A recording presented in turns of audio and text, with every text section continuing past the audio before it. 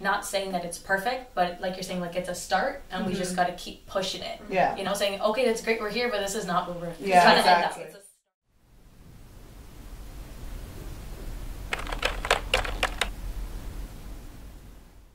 Hi, my name is Mitch, and my background is Indian. I'm Janis, and I'm Tamil Sri Lankan. Hi, I'm Sherley. I'm Tamil. Uh, hey guys, Hadyah. I'm Jamaican. I'm Tamia and I'm Asian. So the first question I wanted to ask is have you guys ever experienced or like witnessed colorism within like your friend groups or your family or just like yourself?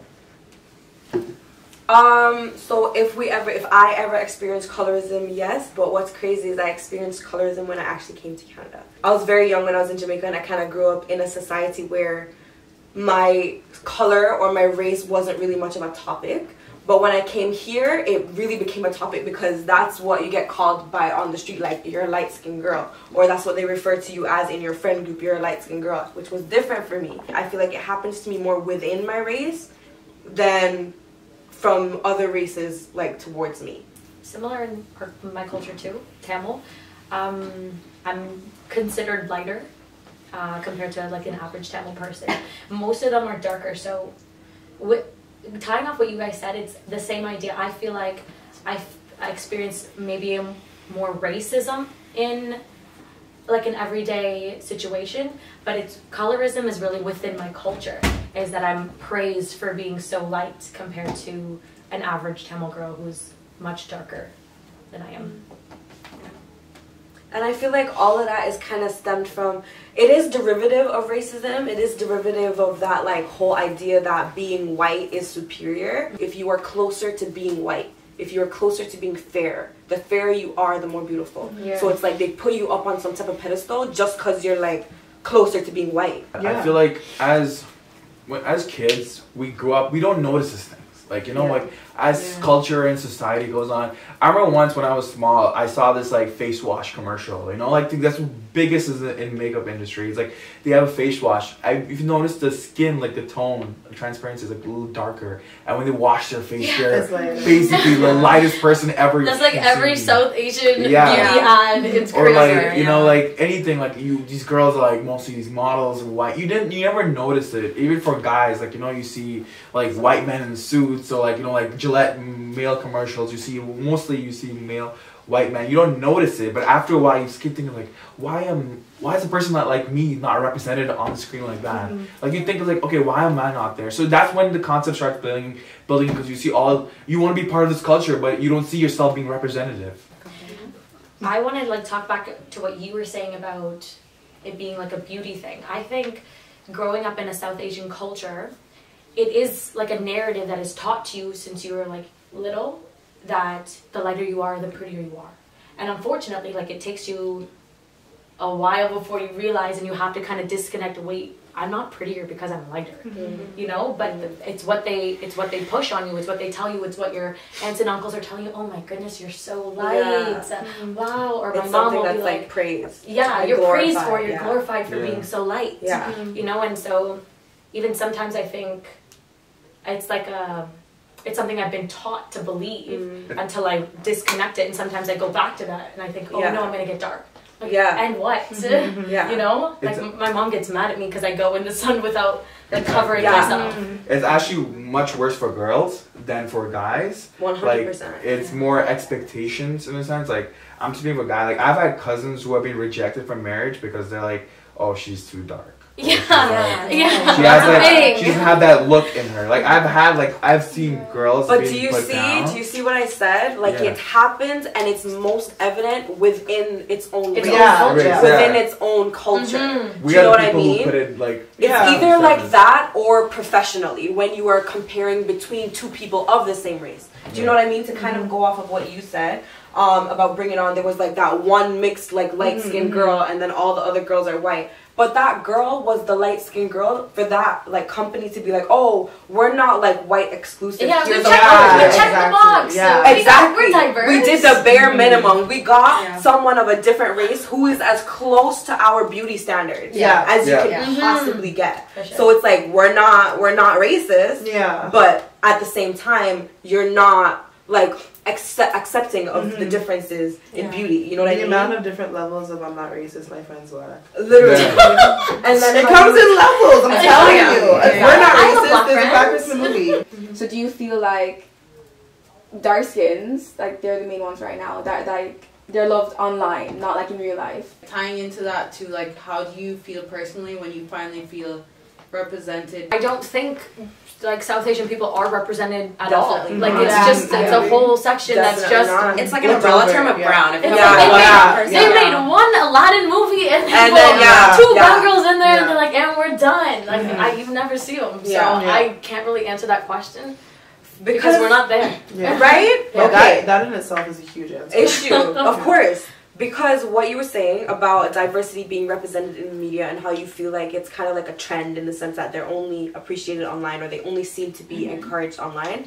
It's like, I feel like it's important that it starts there. Because why did it develop in the first place? It's mm-hmm. because the, the standard of beauty was always like Caucasian, white. This is what you want to be. That's the way it's advertised. That's what's shown on screens. It's what you see in pictures. You know what I mm-hmm. mean? It's what's drilled into generations and generations, and it's not even on purpose. It's happening just because that's what you're constantly surrounded by. Mm-hmm. So for black people, brown people, people, Asian people, people of all different backgrounds and diversities to be represented in the media, it starts on social media because that's how you're gonna reach the biggest like group of people to start these like getting them used to seeing all different mm-hmm. types of people represented as beautiful. Yeah. that's when it's gonna like actually d- like penetrate the same type of way that the colorism started in the first place. It's gonna penetrate on a subconscious level Yeah. that we start seeing everyone as beautiful on the same scale as opposed to only one group of people being mm-hmm. glorified mm-hmm. on such a mass like scale Yeah. Onto your thing too. Like if you notice where we start from, like even the smallest things, like the Disney princesses. You know, like mm-hmm. when you start, you see the majority nine out of ten where like what she said, like are literally white princesses, Snow White, like things we don't notice as kids. You know, like oh my god, I want to look like I want to be a princess mm-hmm. like her. Even the whole Barbie controversy of how like you know people like okay yeah you have to look like white. It, it took them at least 30 to 40 years to at least introduce the concept of black Barbie. Mm-hmm. Like, you know? So things like that is like, as things are changing, we notice it more and more and we're giving it more attention. And that, that's the best part about what we're doing. As like, we know, we, we're talking about that. So there's things are changing. Like, you know, back to the Aladdin thing too. Like, it actually makes me like sad that people have like, like, oh yeah, why are you adding? Why does this person have to be black? Why does the new um, character have to be like, um, who was one of the characters? Like, Little Mermaid. yeah, Little Mermaid. Like, Oh, yeah. why does it have to? Like, that shows that Yeah. people still have this hidden Mhm. concept. Like, yo, this is how it's supposed to be. But when we're changing it, it's like a big thing. Yeah. I want to piggyback off of actually go back to the question that Brie asked about um, people being accepted now in the media, and I agree with what you said. I never looked at it that way of that as a starting point to being mm-hmm. accepting. Everyone loves the idea of being accepting, but I don't think it has actually registered at all mm-hmm. because Yeah. I, I very firmly believe that in order to completely grasp what someone is feeling, you have to be able to put yourselves in their shoes. And I feel like nobody does that. I feel like the shoes people want to fill are, are likes on Twitter. Mm-hmm. So I think that there needs to be more a vocalized, you know, aspect on, or people need to listen to what the stories are on an everyday basis, not just the models that you see on the runway or the people that you see in print ads. It's like, oh, we have diversity. It's like, no, no, no. These are people in your community that you are un- so, like unconsciously ridiculing. Mm-hmm. So I think it needs to be a bigger discussion of people actually understanding how their subconscious actions are affecting the people around them. And I don't think that's just people that are lighter towards darker people. I think it's darker people towards lighter people as well because there's definitely a stigma there. of Um, course and I think that in terms of what Keek said about being more accepted now, or how do I feel? How does it feel to be um, more seen in, ter- in, in terms of media? Um, I think it's a good thing, but I, I would be lying if I said I didn't feel like it was more done out of pity. I feel like it's just what we've all been saying, like, okay, well, we have to have this here, or else it's going to be a big thing. So it's, but it's like you're not actually appreciated for who you are. You just have to be there to make sure that no one's upset. To be honest though, I really feel like while it's a good start, I feel like it's like a big marketing ploy. Like Mhm. Rihanna was like the Mhm. first to actually include all skin tones in her makeup line, and every other makeup line that followed. It's really great that they're finally including like all the skin tones. But they're only doing it for business. Yeah. So they're not falling behind. Yeah. It's you also know? like, why did that have to happen in what twenties? There you go. What was it like? 2018? two, Yeah. three years Like, 2019 is when black women could wear their natural hair, honey. 2019, just now, yesterday. It's just like that. Mm, that shouldn't like that took way too long. Yeah. way too long. Anyways, my next question was, um, do the stereotypes between the, do the stereotypes behind colorism make you more self-conscious or insecure? Whether or not you're on the favorable side or unfavorable side. Yeah. Um. I used to be very self conscious about my color for sure, especially growing up in a predominantly white city. I used to think um, that I would always try to have to be lighter. So like, I used to go to the dermatologist because I had acne, obviously, but like, I went to the dermatologist for my acne, but what they gave me was, and all the people that worked there were white, and what they gave me was something that bleached my skin. They're like, this is how it's gonna fix like what's going on. So I was like, okay, and this is when I was younger, so I used it, and I, I mean, like my best friends know, I became like a shade or two shades lighter just by using this bleaching cream, and I thought it was like great. I'm like, oh, okay, cool. I'm getting lighter, and my acne's getting fixed. And then as I grew up, I was like, why does that need to happen? And I think as I Yeah. grown up and just experienced more things and moved away from Canada and came back, I'm much, much more accepting of my color and who I am. And I literally go to the beauty supply store and find things that work for my skin, and it's not bleaching and it's not like $300. So I think that it takes time to be comfortable with who you are, and I think that um, it's good to try and find people who are accepting of you because that makes it easier as well. But I think there's definitely always going to be um, a subconscious, self conscious thing about my color because of the world that we live in and the people that um, we hold our beauty standards to. But as of right now, Well, I mean, like for me, for example, like when I was a kid, um, I don't know if it's a brown girl thing, but I was a lot darker, maybe like recess or whatever. And I went to school with like all Filipino kids, and I was like the only brown skinned girl. So I really like I felt it, like I felt like I was darker. Every time like those kids would make those like, oh, we're gonna turn off the light and like X is gonna disappear, ha ha ha. I would just laugh along, hoping that I'm not gonna go next, you know. So you learn to really like, and then obviously in our South Asian culture, like you really grow up with like fair being prettier. Like even before a baby is born, they would be like, oh, the mom is fair, so hopefully the baby's gonna be like light skinned too. So then in high school, I don't know what happened. Like I had a glow up, obviously, because I was not a cute kid. But then also, my skin got somewhat lighter in the high school I went to, and then suddenly I was like, I was pretty. And then instead of realizing what colorism is, or like I just I was still confined to it. So I'm like, oh, you know what? Now I'm light in this environment, so now I'm pretty, and I got self confidence that way. And it took me until I was 18 and going away to university to realize what that actually was, how damaging it is to realize, you know what, like I could be pretty because I'm pretty, like not because I'm light, not because I'm dark or whatever it is, but it is very much instilled in girls and guys, of course, but like as a brown girl from when you're a young age and your environment and everything too, like it kind of it instills that even further. Like you see movies as we were talking about with like white people on it, so you want to have Eurocentric features to be pretty. You want the narrow nose and like the cheekbones and stuff, and you want the lighter skin. You know, so it takes a while to actually even like get out of that too. But yeah, absolutely. Okay, and then my next question was you kind of like answered that a while ago was like has your family like ever made comments to you on like who you should like bring home or who they expect you to date or what kind of Oh. background for them to have? I guess yes. Oh, this is so controversial. I'll, I'll, I'll make mine really, really short, and I don't want to offend anybody because personally, I don't care who I bring. Reefers.